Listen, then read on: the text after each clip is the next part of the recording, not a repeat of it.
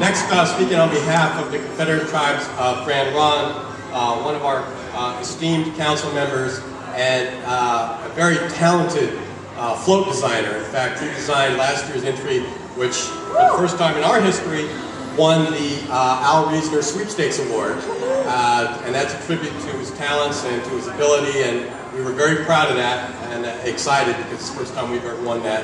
I'd like to introduce Steve Bobb Sr.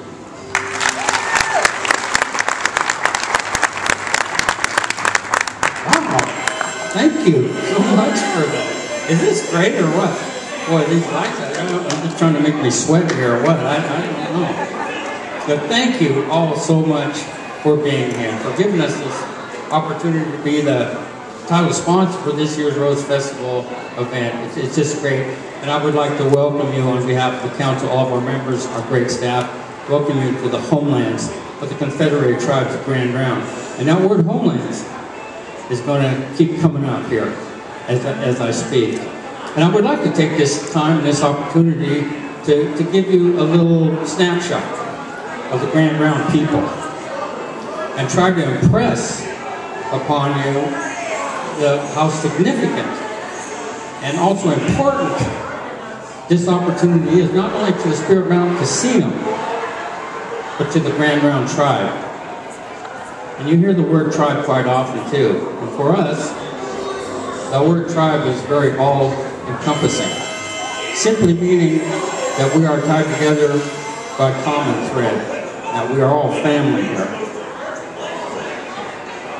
Our uh, people, you are sitting, this is Grand Ronde, and where you are sitting here today is a small part of what used to be the 60,000 plus acres of the original Grand Ronde Reservation, in which 27 different tribes and bands of our indigenous ancestors were herded upon in the middle 1800s.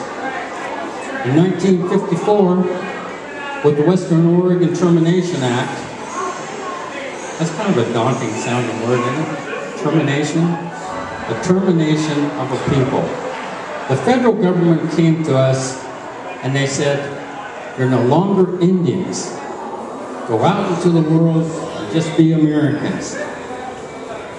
And severing all the responsibilities and obligations that they had to the Grand Ronde people. I was five years old at termination, and like me, all those that grew up in that era, that time, we did so without taking part in any kind of part of our traditional Native American culture. Dancing, singing, drumming, and crafts. So for 30 years, our culture faded. But because of the hard work, the stamina of a few people who wouldn't quit, wouldn't give up, and wouldn't stop, in 1983, we were re-recognized as Indian people, restored by the Grand Ronde Restoration Act signed into law by then President Ronald Reagan. So when we say homelands, in legal terms, ceded lands, ceded meaning that our chiefs, our leaders, and our ancestors of that time they signed treaties with the federal government in trade for health care, for housing, and for education for our people. Relinquishing, relinquishing land from the crest of the Cascade Range to the east, to the crest of the Coast Range to the west, across the Columbia River to the north and to the south, what is now Northern California the entire Willamette Valley, and then some. Treaties in which the federal government never kept. So the Portland metropolitan area is a huge part of our people's past. So, and in also in our ceded lands. So you can get a feel and an understanding of the magnitude of the impact of what this opportunity means to us. This opportunity is simply not about putting our logos on banners on the street. It's not about putting our logos on mere programs. This is a connection to our past.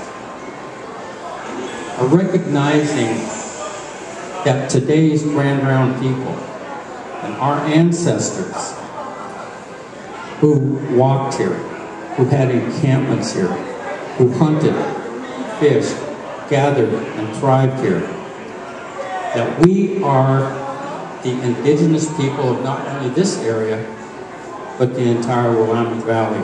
And it gives us the opportunity, the opportunity to do what we so long to do, to welcome all to the homelands of the Confederated Tribes of Grand Ronde. So, to be able to work with this prestigious organization, the Rose Festival, is not only exciting, and it is exciting, it's extremely meaningful. Who doesn't love the Rose Festival? Who doesn't know the Rose Festival? Who from this region is not aware of the Rose Festival? From the choosing of the beautiful Rose Court to the Grand Floral Parade and all the events that make up this grand event. Like our casino, we give people a chance to escape for just a short period of time, to get away, to get out, to have fun, and to be entertained. This is what you bring to people's lives. And we wait in anticipation every year for this event to unfold.